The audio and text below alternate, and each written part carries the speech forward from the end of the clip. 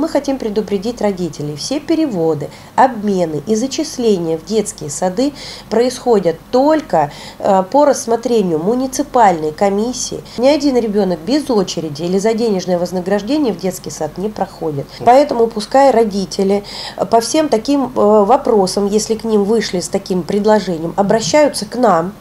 Если нужно, мы будем подключать соответствующие органы, э, правоохранительные и разбираться с каждым случаем. Убедительная просьба нам сообщать обо всех таких случаях и не допускать э, развития вот такого мошенничества. У нас все делается только по закону, только по электронной очереди, только по рассмотрению муниципальной комиссии. Мы работаем только в рамках закона, мы не нарушаем права детей и никогда и никому не позволим этого сделать.